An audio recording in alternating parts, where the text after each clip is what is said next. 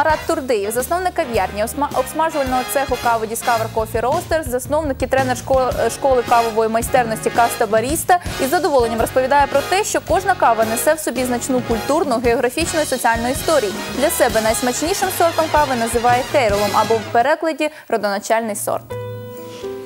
Так, доброго ранку. Доброго. Вітаю в нашій ранковій студії. Отже, будете нам сьогодні розказувати, як же ж нам зварити ту найсмачнішу каву, щоб зранку точно прокинутись. Тому що рецептів багато, е, секретів також, але не всі їх знають. А от ви знаєте точно всі, так? Да. Добрый день. Сегодня мы с вами приготовим два самых простых способа приготовления кофе дома. Простые, вкусные, не требующие большого мастерства. Так, е, отже, що це будуть? Да. Первый способ, это самый простой способ, это заваривание кофе в чашке. А, Для того, чтобы его приготовить, нужен только кофе и только горячая вода.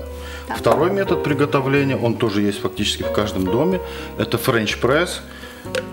Французское изобретение для того, чтобы тоже приготовить кофе, но при помощи фильтра мы можем отсеять частички кофе, которые не будут у нас скрипеть на зубах.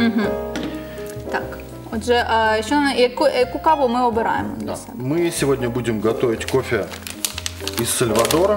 Э, Самое важное э, в приготовлении вкусного кофе э, это свежий помол.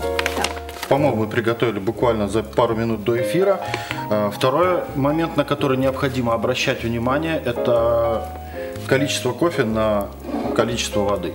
Чем меньше вы будете себе любимым давать кофе, тем хуже у вас будет вкус. Тобто, от е, приблизно скільки необхідно, тому що я завжди кидаю побільше, тому що вважаю, що це більше Да, збадьорить. э, стандартный рецепт, с которого можно начинать, это 6 грамм э, кофе на 100 миллилитров воды. На обычную 300 миллилитровую чашку это 4 ложки с горкой. Тобто дві, якщо я кидаю, це де- навіть мало. Так. А як же ж нам визначити, що кава буде смачна? Тому що заходимо в магазини, видів багато, але знаємо, що є їх всього два такі родоначальні, так? Арабіка і рабуста, якщо правильно розумію.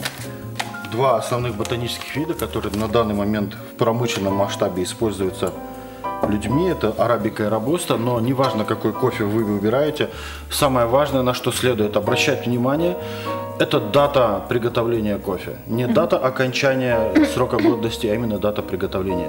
Чем ш- свежее кофе, тем больше он отдаст вам во вкусе, в аромате, и в чашке у вас всегда будет хороший напиток. А в якій упаковці краще брати? От в такій і чи от в склянках, якщо буває Да. там. Э, Упаковка желательно должна закрываться плотно. Мы у себя используем пакеты Ziploc. Они легко открываются. И затем э, у них есть такой замок. Выбирайте ту упаковку, которая будет вам удобна, которая плотно закрывается и не дает воздуху контактировать с кофе. Воздух это главный враг э, любого скоропортящегося продукта. Итак, мы засыпали кофе. Теперь заливаем его простой горячей водой. Стараемся сделать так, чтобы кофе смешался полностью с водой. Ждем буквально пару минут. И ваш кофе готов. Всього декілька хвилин. Всего несколько минут. Так, ну ви запам'ятали, на 300 мл, якщо у вас е, чашка, то ви берете аж 4 ложки із гіркою кави. Да, 4 ложки с горкой это важно, потому что э, арабика, несмотря на то, что это очень вкусный и очень ароматный сорт, его требуется гораздо больше, чем робуста, для того, чтобы вкус в чашке был достаточным для вас. А чи- що додати можна там ка- е, до кави, там цукор, чи якщо кава така смачна, то навіть цукор не, не треба. Соль, сахар, перец, все то, что мы добавляем в кофе или привыкли добавлять в кофе, вы можете ложить по своему усмотрению. Это модификаторы вкуса, которые либо усилят вкус, либо что-то погасят. Все делайте так, как вы привыкли и так, как вам вкусно. Нет единого рецепта и нет э, ни одного кофе, который бы вам понравился на 100%. Так, тепер робимо каву з молоком, так? Да, правильно мы розумію. сейчас приготовим френч пресс и затем мы попробуем его и с молоком, А от як щодо молока, яке краще обирати для кави, от для якихось напоїв? Тоже определенного рецепта нет. Естественно, молоко должно быть свежим. На данный момент есть два вида молока. Это пастеризованное и ультрапастеризованное. Желательно берите то, которое, в котором вы уверены, что оно действительно может портиться, потому что в нем сохраняются полезные бактерии, патогены, которые делают молоко не просто вкусным, но и полезным. А по жирности вы можете выбирать тоже любое молоко, но чем больше жирность, тем больше у вас сливочности во вкусе и меньше кофе во вкусе. Так, що ми зараз заливаємо? Да, мы заливаем воду. Давайте уберем, чтобы было видно. Так.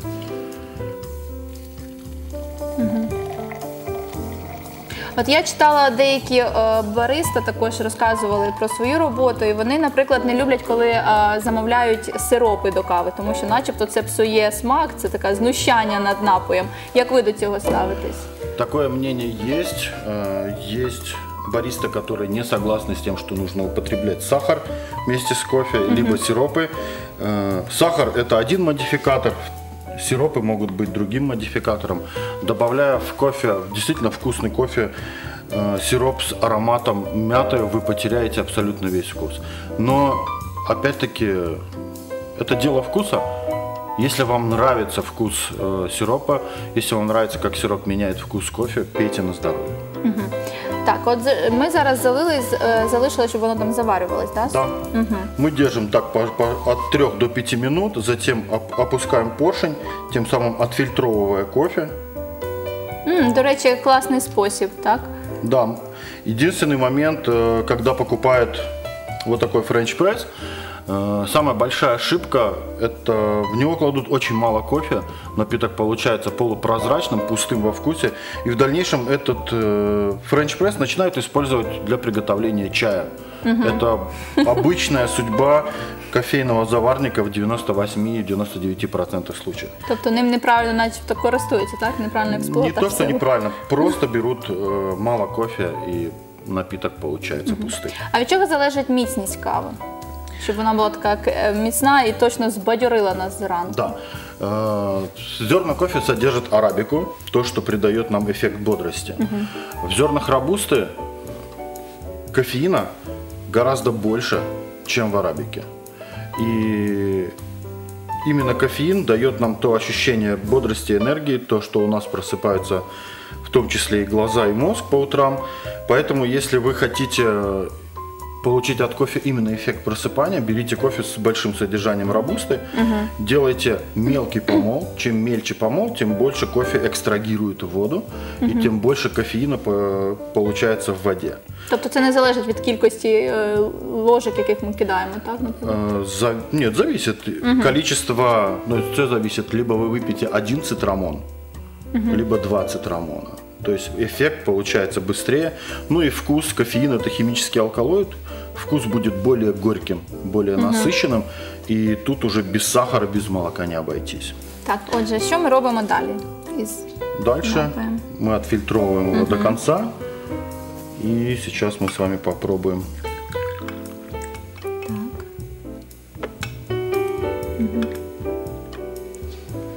Один без молока. и один Просто хочу якось. М, Клас. От зранку мені здається, навіть просто запах кави може збадьорити. А дальше вы можете добавить А я от я бачила, е, є такі майстер-класи, чи ну якось показувала, як вдома можна зробити ось е, збити молоко, і начебто якось для капучино чи лати можна зробити вдома. Взбивать молоко можно, в том числе и во френч-прессе. Вопрос в том, готовы ли вы покупать то количество оборудования, которое вам необходимо. А рецепт простой. В чистый френч-пресс наливается теплое или холодное молоко по вашему вкусу. А дальше вы просто непосредственно и активно двигая поршень вверх-вниз, вы вспениваете молоко Приблизно по часу це скільки займе? порядка 15 секунд.